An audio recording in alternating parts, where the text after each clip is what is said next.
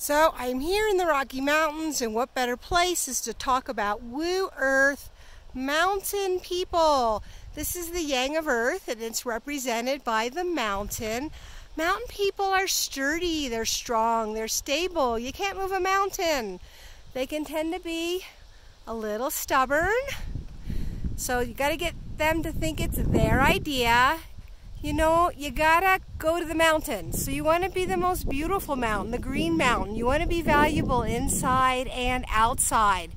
That means it's not just about all the externals, it's about having some sort of depth to yourself, depth of character. These people are loyal, they're great listeners, they're sturdy, and they're stable. It's always good to have a Wu Earth friend in your corner.